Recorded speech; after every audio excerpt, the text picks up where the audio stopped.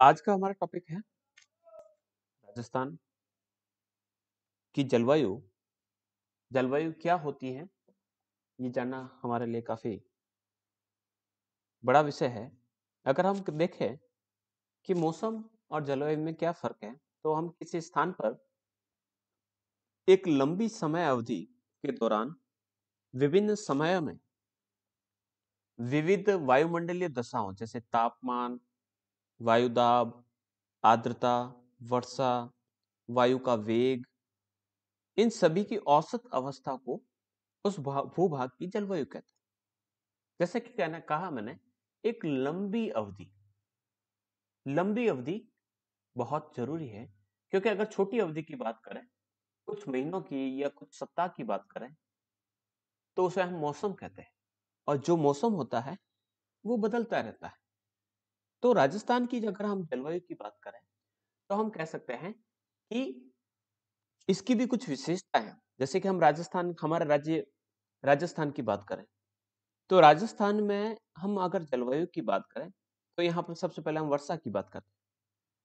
तो वर्षा की मात्रा और समय को अगर देखें तो पूर्ण रूप से अनिश्चित है। कब बारिश होगी कोई पता नहीं। अनियमित हैं। यानी लगातार होती रहेगी या बीच में गैप आएगा, कोई पता नहीं। आज बारिश हो गई, अगले बीस दिनों में बारिश भी नहीं होती और पता नहीं एक महीने तक बारिश ना हो। और तीसरी विशेषता अपर्याप्त, जितनी हमें आवश्यकता होती है, उतनी यहाँ पर बारिश नहीं हो पाती। इसी कारण यह कहा जाता है कि राजस्थान में तीजो, कुरियो और आठवो काल, यानी हर तीसरे वर्ष यहाँ पर सूखा और आठवें वर्ष यहाँ पर अकाल पड़ता है। हर आठ वर्ष के बाद राजस्थान में अकाल रहता है। हर तीसरे बाद दो साल अच्छा मौसम रहा और तीसरे बाद साल देखेंगे तो वहाँ पर सूखे की स्थिति। तो ये कुछ विशेषता है। यहाँ पर वर्षा और आर्द्रता का वितरण भी असमान है। हम अरावली के दक्षिण पूर्व में हाड़ोती प्रदेश की बात करें वहाँ पर बारिश बहुत अधिक होती है। लेकिन उत्तर पश्चिमी भाग जैसलमेर बाड़मेर की बात करें तो बारिश बिल्कुल नगण्य इसी प्रकार राजस्थान में देखें तो राजस्थान में आपको शुष्क मौसम भी देखने को मिलेगा उप आर्द्र भी देखने का मिलेगा, ये न तो ज़्यादा शुष्क है और न ही ज़्यादा आर्द्र है। झालावाड़ या जो हाड़ोती रीजन है, वहाँ पर आर्द्रता वाला मौसम मिलेगा, अति आर्द्रता वाला मौसम मिलेगा। तो इस प्रकार से हर प्रकार की जलवायु की विशेषता यहाँ पर पाई जाती है। राज्य की लगभग जितनी भी जो वर्षा होती है, लगभग 90 परसेंट वर्षा वो गर्मियों में होती है। जून, जुलाई के अंत में जुलाई, अगस्त और मध्य सितंबर तक पूरी की पूरी बारिश यहाँ पर हो जाती है। और अधिकांश जो 90 परसेंट जो वर्षा होती है, वो दक्षिणी पश्चिमी मानसून से होती है। शीतकाल में थोड़ी बहुत बारिश हो जाती है, जो मावट कहलाती है। तो भूमध्य सागर से कुछ वेस्टर्न डिस्टर्बेंस या पश्चिमी विक्षोभ जिसे कहा जाता है, वह उत्पन्न होते हैं और पश्चिमी राजस्थान में। बारिश करते हैं, सर्दियों के मौसम, जिसे मावट कहते हैं। तो इस प्रकार से राज्य में वर्षा का जो वार्षिक औसत है, वार्षिक औसत लगभग 58 सेंटीमीटर यानी केवल 58 सेंटीमीटर एवरेज बारिश राजस्थान के अंतर्गत होती है।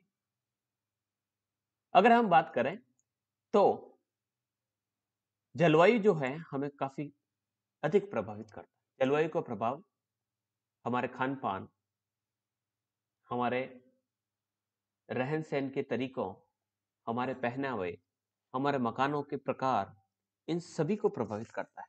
तो इस प्रकार से जो जलवायु है, उसी के माध्यम से हमारे जितने भी जो आर्थिक कार्य है या हमारे जो जनजीवन है, वो नियंत्रित होते हैं। राजस्थान एक कृषि प्रधान राज्य है जहाँ पर कृषि, यहाँ की अर्थव्यवस्था का प्रमुख आधार है। और वहाँ पर जलवायु का महत्व बहुत अधिक हो जाता है, क्योंकि बिना जलवायु के यहाँ पर कृषि कार्य कैसे संभव होंगे? तो कृषि कार्य में या कृषि आधारित अर्थव्यवस्था होने के कारण राजस्थान के लिए इसका महत्व काफ़ी बढ़ जाता है। विभिन्न अन्य क्रियाकलापों की बात करें, जो प्रत्यक्ष अप्रत्यक्ष रूप से कृषि पर ही निर्भर रहते हैं। उद्योग व्यवसाय परिवहन संचार व्यवस्था ये सभी किसी न किसी प्रकार से जलवायु द्वारा प्रभावित होते हैं। तो इस प्रकार से राजस्थान की अर्थव्यवस्था में प्रमुख प्रभाव रहता है जलवायु का। अब जलवायु की बात करते हैं तो यहाँ पर दो प्रकार के समताप रेखा है। समान तापमान को मिलाने वाली रेखाएँ। तो इन रेखाओं की स्थिति को अगर देखें तो ये मैप आपको शो करेगा कि जहाँ जहाँ से ये लाइन पास आउट हो रही है। तो जनवरी के महीने में बीकानेर, नागौर, झुंझुनू का जो तापमान रहता है वह कम रहता है इनकी अपेक्षा, जहाँ से ये लाइन पास होती है। तो न्यूनतम तापमान जो है, वो आपको इन सभी जहाँ जहाँ से ये रेखाएँ निकलती हुई नज़र आ रही है। तो आपको अलग अलग प्रकार की समताप रेखाएँ प्रदर्शित की जाती है और वह आपको बताती है कि वहाँ पर जो टेम्परेचर रहेगा जनवरी में किस प्रकार का रहेगा। तो जहाँ से, जैसे कि जनवरी की बात करें तो जनवरी में जैसलमेर, जोधपुर, उदयपुर, चित्तौड़गढ़, भीलवाड़ा, अजमेर जयपुर और अलवर का जो तापमान रहता है वो लगभग लगभग एक समान रहता है। और अगर न्यूनतम तापमान की बात करें तो देखिएगा बीकानेर नागौर और झुंझुनू के कुछ जो, क्षेत्र हैं वहाँ का तापमान काफ़ी कम हो जाता है।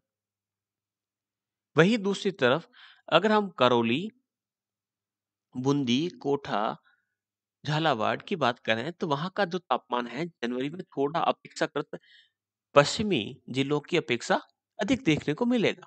इसी प्रकार से हम बात करें जून की समताप रेखाएँ तो जून की समताप रेखाओं में देखें तो यहाँ से यानी बीकानेर का जो नदन पार्ट है या चुरू और हनुमानगढ़ का जो क्षेत्र है, वहाँ पर जो तापमान है बयालीस डिग्री सेंटीग्रेड तक पहुँच जाता है जून में।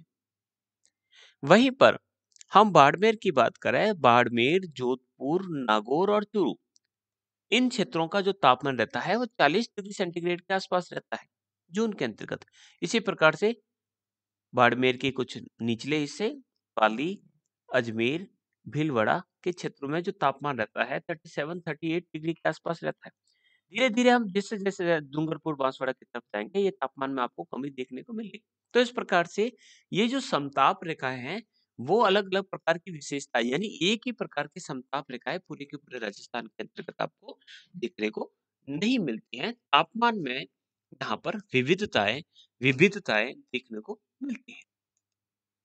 अब बात करते हैं कि राजस्थान की जलवायु को प्रभावित करने वाले कौन कौन से तत्व हैं?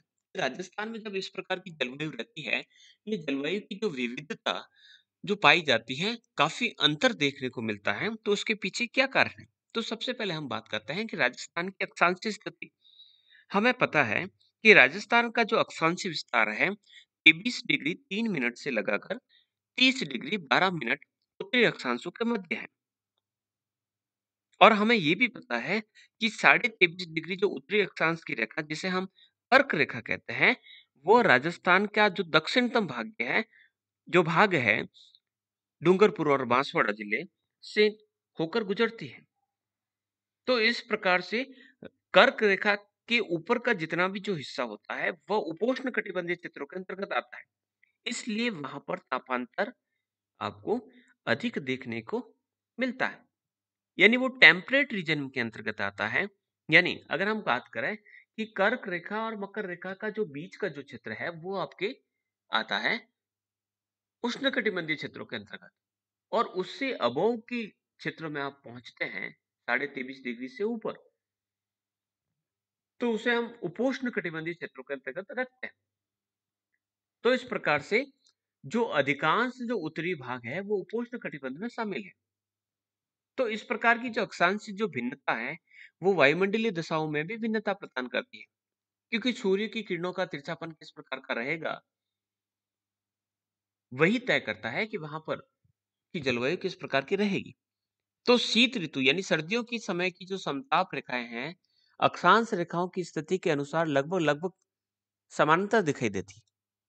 शीत ऋतु की समताप रेखाएँ अक्षांश रेखाओं के स्थिति के लगभग समांतर दिखाई देती है। कैसे? देखिएगा आप। हम शीत ऋतु यानी उत्तरी गोलार्ध में शीत ऋतु का जो समय रहता है, वो रहता है जनवरी का। तो अगर हम अक्षांश रेखाएँ यहाँ पर खींचे। तो आप देखेंगे कि इन अक्षांश रेखाओं के लगभग लगभग आपके समांतर आसपास के क्षेत्रों में आपको एक जैसी विशेषताएँ देखने को मिलेगी। वही दूसरी तरफ़ जून में देखेंगे तो आपको इस प्रकार का अंतर देखने को मिलेगा। तो इस प्रकार से जो अक्षांश स्थिति जो है, वह स्थिति इस प्रकार की है कि वहाँ पर उपोष्ण कटिबंधीय जलवायु पाई जाती है। न तो ज़्यादा इसे हम गर्म क्षेत्रों के अंतर्गत रखेंगे और न ही इसे हम सर्द क्षेत्रों के अंतर्गत रखेंगे। तो ये स्थिति है, वो प्रभावित करती है किसी क्षेत्र की जलवायु का। दूसरा अगर बात करें तो वो है समुद्र से दूरी, यानी महाद्वीपीयता अधिक है। जो चित्र महाद्वीप की स्थिति रखता है,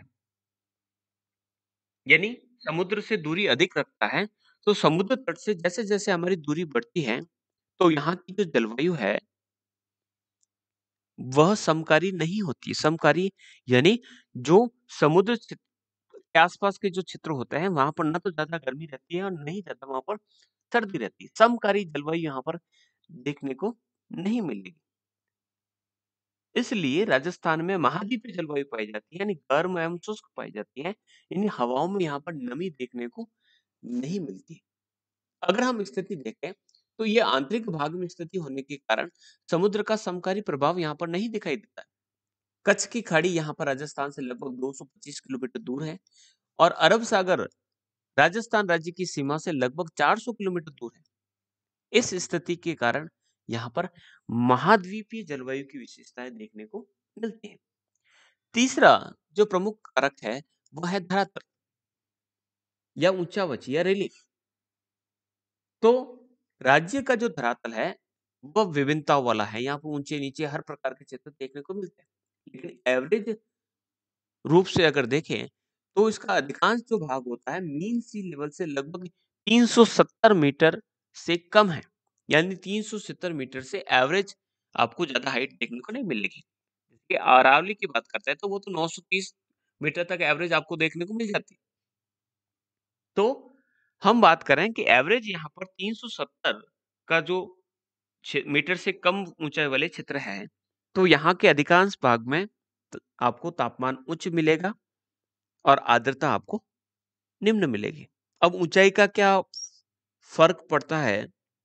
तो अगर हम देखें कि हम जैसे जैसे समुद्र तल से ऊँचा जाएँगे, वहाँ पर आपको आर्द्रता अधिक मिलेगी और जहाँ पर आर्द्रता अधिक होती है, वहाँ पर वर्षा की संभावना बढ़ती लेकिन ऊँचा क्षेत्र होने के, नहीं होने के कारण यहाँ पर वर्षा कम होती है। यानी मीन सी लेवल से जितना ऊँचा होगा, वर्षा की संभावना बढ़ती है। यही कारण है कि यहाँ पर माउंट आबू में आपको अधिक वर्षा देखने को मिल सकती है। झालावाड़ में आपको अधिक वर्षा देखने को मिलती है। उदयपुर में भी अच्छी बारिश होती है, लेकिन दूसरे जितने भी जो ज़िले हैं, वहाँ पर बारिश कम देखने को मिलती है। तो अरावली के पश्चिम का अधिकांश क्षेत्र 300 मीटर से भी कम ऊँचा है। उत्तर पूर्व में जाए तो भरतपुर और उसके आसपास का क्षेत्र। माही नदी से या नदी का जो मैदान है, जिसे छप्पन का मैदान कहा जाता है, उसकी ऊंचाई कम है। तो यहाँ पर तापमान जो है, लगभग एक जैसी विशेषताएँ देखने को मिलती है।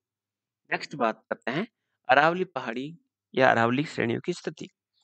अरावली पर्वतमाला की स्थिति को देखें तो ये दक्षिण पश्चिम से उत्तर पूर्व की ओर है। यही कारण है कि अरब सागर से आने वाली जो दक्षिण पश्चिमी मानसून की जो पवने हैं, वो इसके समानांतर बहती हुई, बिना बारिश किए हुए आगे बढ़ जाती है। यही कारण है कि राज्य का जो पश्चिमी भाग है, वो शुष्क रहता है और वहाँ पर बारिश नहीं होती आगे बढ़ते हैं धरातल की ऊंचाई। धरातल की ऊंचाई का हमने वैसे डिस्कस कर दिया है कि लगभग 370 मीटर से कम नीचा है, से नीचा है। तो माउंट आबू का जो तापमान है वह सर्दियों में शून्य डिग्री तक पहुँच जाता है, लेकिन जयपुर की तापमान की बात करें तो वो पाँच डिग्री सेल्सियस से कम, बहुत कम पहुँचता है। पश्चिम में बारिश कम होती है, दक्षिण पूर्वी भाग में काफ़ी अधिक बारिश होती है। तो इस प्रकार से समुद्र तल से ऊँची भूमि पर आपको गर्मी में भी अधिक तापमान नहीं मिलता। जैसे माउंट आबू की बात करें। और वहीं जमाव बिंदु तक भी पहुँच जाता है सर्दियों में। मैदानों में समुद्र तल से ऊंचाई कम होने के कारण वहाँ पर तापमान में अंतर नहीं देखने को मिलता। इसी प्रकार से अन्य कारकों के अंतर्गत हम प्राकृतिक वनस्पति की विद्यमानता को भी अगर कहे तो यहाँ पर अत्यधिक कम प्राकृतिक वनस्पति है। यहाँ पर तापमान अधिक रहता है और आर्द्रता में यहाँ पर कमी पाई जाती है। इसके अलावा राज्य का लगभग 61 परसेंट जो भाग है, वो मरुस्थलीय है। रेतीली मिट्टी है, दैनिक और मौसमी तापांतर बहुत अधिक देखने को मिलता है। तो इस प्रकार की विशेषताएँ राजस्थान की जलवायु के अंतर्गत हमें देखने को मिलती है। ये वो कारक हैं तो राज्य की जलवायु को प्रभावित करते हैं।